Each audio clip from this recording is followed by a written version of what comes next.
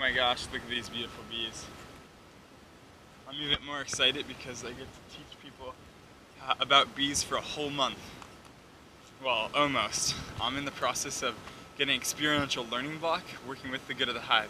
So I'll go out to South and North Carolina and work with Matt um, on different initiatives to kind of like promote and do public outreach to teach people about bees and what Matt's doing and just really excited about it, just going through a couple more loops uh, with paperwork and getting people on board and flights and everything, and then we're there.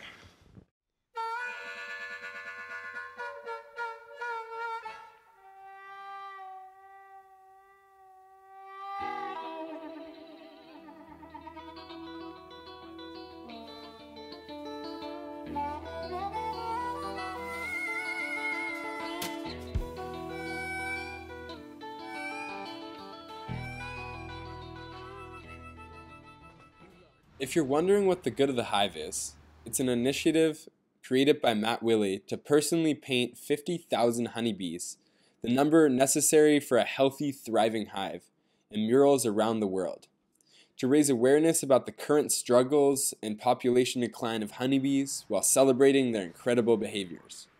Right now, we are in Carrboro, North Carolina, painting a mural on a fire station. I've been thinking a lot lately about the interconnectedness of honeybees with everything. This mural is a great example of all the honeybees wrapped up with each other in the flowers, acting as kind of like the flower's legs, because bees are so important in pollinating things. They pollinate one third of the food we eat, and it's awesome to see that represented in such a beautiful artistic way.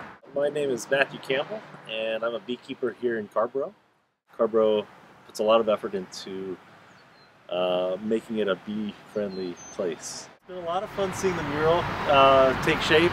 I'm hopeful that it'll help to educate people about uh, bees and, and, bee health in general, and that people will see it and maybe ask questions about uh, honeybees and all pollinators. My first film shoot here with the Good of the Hive. Got Matt painting some flowers and Nick the filmmaker here with his drone. Okay, even if like, I mean, you're not. That's true.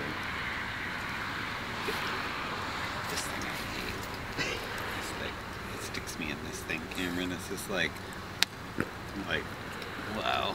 Like it's. I'm a ninja. Yeah, it's on there so tight. Like you can loosen like, it. Loosen it.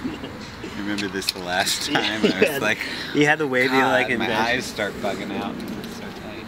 One of the firefighters had a great idea of strapping Matt up to the fire truck and hanging him down as he painted. As I saw him soaring through the air connected to a fire truck, I can see how he embraces his inner bee, almost like he is the bee. One of the most impactful parts of the Good of the Hive is the interactions that happen at mural sites. No matter who it is that can come observe the message of the mural, as well as talk to Matt and I, have the ability to leave knowing more about the environment and have a different view of honeybees.